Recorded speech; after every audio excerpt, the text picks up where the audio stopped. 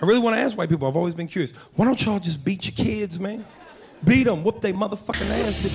Y'all give y'all kids all kind of timeouts at special places. The fuck is a special place? To a black child, that's a coma. What is a special place? Black kids don't know shit about timeout. We know about getting knocked the fuck out. That's it. My mother used to slap the shit out of me in public, and I would look at people for help. Like, shut up. White people felt my pain. Oh my God. She just struck her child. Black people see black kids get hit, we be like, hey, get your shit together. Black people will beat other people's kids if they fucking up too bad. Like, miss, you need to whoop this ugly motherfucker.